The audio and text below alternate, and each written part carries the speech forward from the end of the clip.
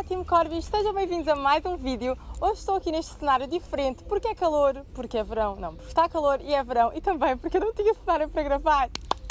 Portanto, eu gosto tanto de vocês que eu vim aqui ser picada inteiramente no meio de um parque para gravar este vídeo para vocês.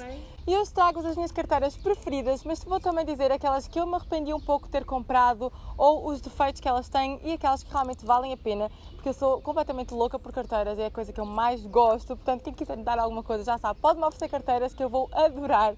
É realmente a única coisa que eu não me importo gastar dinheiro. Se vocês estão curiosos, fiquem aí para ver, mas antes de mais, podem já subscrever o nosso canal aqui em baixo, deixar um like neste vídeo se gostarem deste tipo de vídeos e, claro, comentar, porque nós estamos sempre ativas e vamos responder com certeza. E agora sim, sem mais demoras, vamos passar ao vídeo. A primeira carteira que eu vou-vos mostrar é a Speedy 25 da Louis Vuitton. Esta, na verdade, foi assim, o meu maior sonho consumista. Quando eu comprei, eu realizei mesmo o meu sonho materialista e foi esta carteira, que é a Speedy 25. Esta carteira é um clássico da Louis Vuitton. Meu, a minha carteira é no monograma, acho que é assim que se chama este padrão. É o que eu gosto mais, eu não gosto muito do LVLV. Este sempre foi o meu preferido. E esta carteira é linda, é um clássico, dá com tudo e acima de tudo é uma carteira muito resistente, como já é conhecida a Louis Vuitton. A verdade é que são carteiras caras, mas que duram realmente uma vida, vocês não estão a entender. Esta carteira leva com todo o peso do mundo, eu uso muito quase todos os dias e a carteira está impecável, parece que saiu agora da caixa. É, é mesmo impressionante. O único defeito desta carteira. Ah, antes de falar do defeito, vou-vos dizer que eu comprei com alça, que é caríssima. Isto é um absurdo. Esta alça, só alça é um, é um, um zatino. Mas a verdade é que eu, só, já sabia que não sabia quando é que ia comprar a outra. Portanto, quando comprei tinha que ser mesmo aquela que eu queria. E a, a verdade é que a alça dá muito, muito jeito. Para viajar, para o nosso dia a dia, a verdade é que dá muito jeito a alça. Eu uso, a maior parte das vezes, 99% das vezes, eu uso com a alça portanto não me arrependi e a verdade é que é assim, também só comprei a carteira uma vez, não queria aplicar uma alça que não fosse a Louis Vuitton, então decidi esperar para comprar a que eu gostava. O defeito desta carteira é que ela não tem qualquer tipo de compartimento dentro, que é uma vergonha numa carteira deste preço, ou seja, vai tudo aqui para dentro e é difícil de encontrar as coisas, porque fica tudo assim muito perdido aqui dentro, não tem um único compartimento, nem para pôr uma chave, nem para pôr um telemóvel. E o outro defeito é que esta, como é 25, o espaço aqui de, de abertura não é muito grande. Então, assim, se a carteira estiver muito cheia, que é o normal da minha, é um bocado difícil de chegar lá às coisas e encontrar. Mas de resto, assim, isso é tudo superável, pessoal, porque isto, esta carteira é queridinha. Bem, a segunda carteira que eu vou-vos mostrar era a minha segunda carteira preferida do mundo, que é esta carteira da Carolina Herrera. Esta carteira é linda, linda, linda. É uma espécie de obra de arte, porque tem aquele modelo muito conhecido, parecido da Chanel, é uma carteira maravilhosa, super clássica, super elegante e hum, tem assim as correntes em dourado, que é uma coisa que eu adoro. Dá para usar a tiracolo e tem o símbolo da Carolina Herrera, CH, aqui pequenino e dourado, que é uma coisa que eu gosto muito. Eu não gosto daquelas marcas assim com tudo muito grande.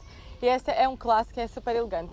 Mas a questão é que a Carolina Herrera é uma marca que realmente a qualidade não é proporcional ao preço que se paga pelas carteiras. Esta carteira é uma carteira caríssima, quase do mesmo preço que a Louis Vuitton, por acaso esta foi um presente mas a verdade é que isto tem vários defeitos. Primeiro, a pele deforma. Se vocês, hum, com o tempo, a pele vai deformando completamente. Por exemplo, como esta, que já está aqui com esta parte virada e não adianta nada fazer nada, porque a pele simplesmente já está deformada.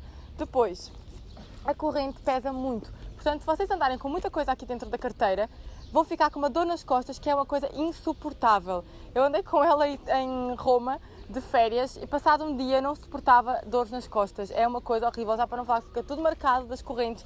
Portanto, é um problema. E se vocês não andarem com muita coisa lá dentro, que é para ela não pesar tanto, ela fica completamente deformada, fica feia, porque isto só fica bem se tiver muita coisa, ela ficar assim construída, se não ficar assim, toda deformada. Isso é um problema. Depois, outro problema, estão a perceber que é o problema desta carteira, é que esta pele não tem qualidade nenhuma. Como vocês podem ver, já está a romper aqui em baixo, que é uma coisa inadmissível numa carteira deste preço. E está toda, a pele também está toda arriscada. E não é uma carteira que eu uso todos os dias e que eu tenho imenso cuidado, mas mesmo assim, hum, pronto. Como vocês podem ver, a minha experiência com Carolina Herrera não é boa e eu tenho três e eu vou-vos mostrar. Esta aqui é outra. Esta foi a primeira carteira que eu comprei quando comecei a trabalhar. Foi assim, aquela conquista. Eu gosto imenso desta carteira, é uma carteira clássica, dá contura, é ótima para viajar porque cabe imensa coisa cá dentro. E esta de todas é a que mais tem durado, apesar de tudo, a que com mais qualidade das três que eu tenho.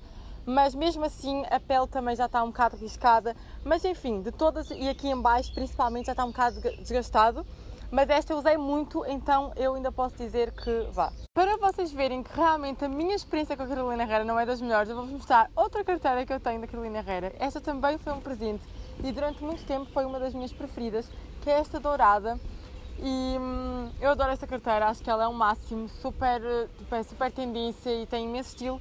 Só que, uh, pessoal, é assim, esta carteira, o que acontece é que o relevo, que era o principal dela, porque ela não tem mais nada a não ser o relevo do, do CH, simplesmente com o tempo começou-se a desgastar. E neste momento ela simplesmente já não tem relevo. Aqui embaixo então, é, enfim, aqui embaixo não tem relevo nenhum, é mesmo, é uma coisa inadmissível numa carteira deste preço. Claro que a pele aqui também começou a ficar escura, mas isso também era uma coisa que eu já estava à espera, portanto não foi o pior. O pior mesmo foi que o relevo saiu totalmente e a pele deformou de tal forma, vocês não sei se estão a perceber, mas aqui dentro tenho papel, por isso é que ela está assim direitinha, porque sem o papel e com as coisas normais cá dentro, acontece que coloca-se uma carteira, esta, esta parte fica assim. Coloca-se um telemóvel, esta parte fica assim, fica toda deformada. É uma carteira que realmente eu já não uso porque fica muito feia, muito feia com coisas lá dentro. É uma que eu não aconselho de todo a comprarem. Agora vamos mostrar uma carteira da Carolina Herrera que eu tenho. Esta também foi um presente e é a única carteira que eu tenho assim mais de sair à noite, mais pequenina, mas que tem dado imenso jeito. É uma carteira pronto, que eu tenho há pouco tempo, portanto ainda não sei assim como é que ela é a longo prazo, mas por enquanto eu estou a gostar imenso, é um clássico, é super gira, tem assim a Dona Karen aqui em baixo, bem pequenina em dourado, corrente dourada que eu gosto muito e cá dentro tem compartimento que também é ótimo, principalmente quando saímos à noite. Portanto é uma carteira que eu tenho gostado imenso e tenho usado muito uh, esta pele mole, com certeza vai ser daquelas que é preciso ter cuidado para não ficar arriscada, mas de resto é uma carteira que eu gosto muito. Agora vou passar para uma marca que eu também gosto muito, que eu sou muito fã, que é a Michael Kors. E a Michael Kors é uma marca que, digam o que quiserem, é uma marca muito mais acessível que as outras, mas que tem imensa qualidade. Esta carteira também foi um presente. É uma carteira que eu adoro, é aquela modelo clássico da Michael Kors de saco, tem imensos compartimentos dentro. É uma carteira que eu uso muito quando viajo, porque ela cabe tudo, inclusive o computador, portanto é uma carteira muito prática.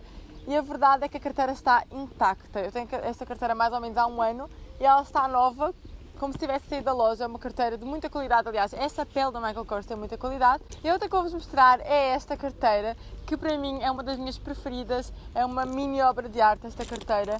Um, eu adoro, dá com tudo, é super bonita, tem imensos compartimentos dentro. E ela tem assim este pingente da Michael Kors que é super giro, é clássica, é discreta, é uma carteira que dá com tudo, eu gosto muito. E como eu estava a dizer, esta mais antiga deve ter, deve ter para aí há dois anos, mas a verdade é que ela está intacta, nova, como se tivesse saído da loja. É uma carteira que está mesmo impecável e é uma carteira que também não é assim tão cara, principalmente se vocês comprarem nos saldos. Eu sei que há muita gente que conseguiu comprar nos saldos, que esta carteira entra em saldos, portanto aproveitem porque está em saldos agora. Não sei se está este modelo, mas aproveitem e vão à Michael Kors, que é uma carteira que conseguem comprar por um preço mais acessível e que sinceramente eu aconselho muito e acho que vale totalmente a pena.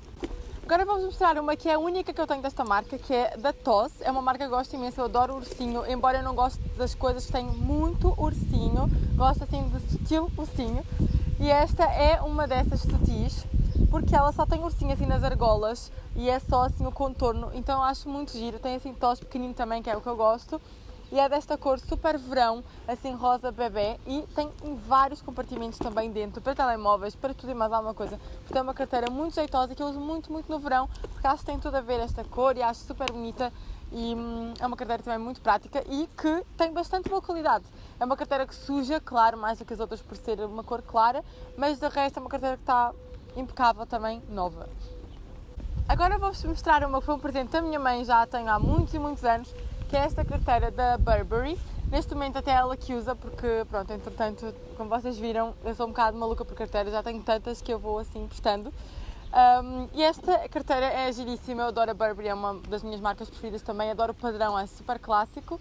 E esta é o padrão mais moderno, é super bonita esta carteira, de qualidade, é uma carteira de imensa qualidade, já tem anos esta carteira, para aí uns 8 anos e está nova.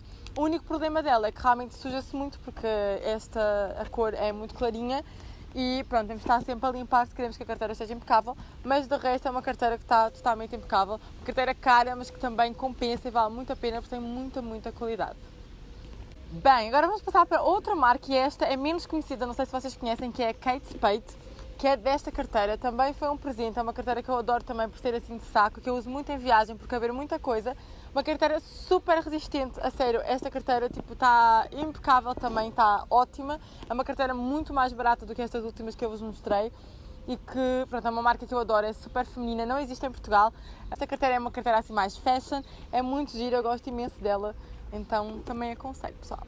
E foi este o vídeo por hoje. espero muito que tenham gostado. Qualquer dúvida que vocês tenham, comentem aqui em baixo. Não perguntem, por favor, o preço das coisas, porque o preço está na internet. Basta vocês irem ao site e ver, porque eu já nem me lembro. A maior parte das minhas carteiras foi presente, portanto eu não sei mesmo quanto é que elas custam exatamente.